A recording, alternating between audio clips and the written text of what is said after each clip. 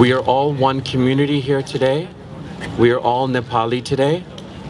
We all share in solidarity with all the suffering and the tragedy, but all the hope and the future. There's so many stories that are here. Tonight, here, we heal. We start the process of healing. We tell our stories, we hug each other, we read our poems, we stand in solidarity. On behalf of all of the people of Boston, I want to let you know that are here today that our thoughts and prayers are with all of you and your families back at home. And I know that rebuilding your country doesn't bring back loved ones, but I want you to know that you don't stand alone here tonight. You have 650,000 Bostonians behind you praying with you. So I just want you to know that you're in our thoughts and prayers this evening as we move forward here. And whatever we can do in the city of Boston, we will make sure that we're there every step of the way.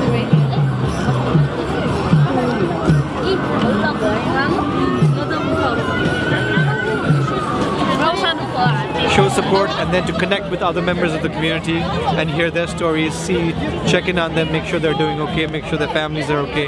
That, that was, you know, mostly what it was.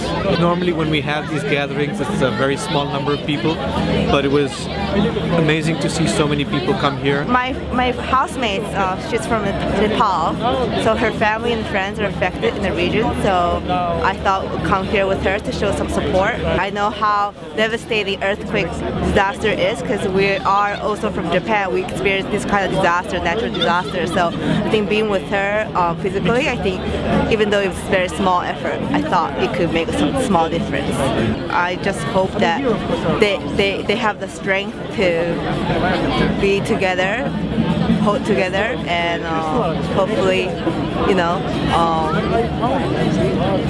overcome this very difficult time.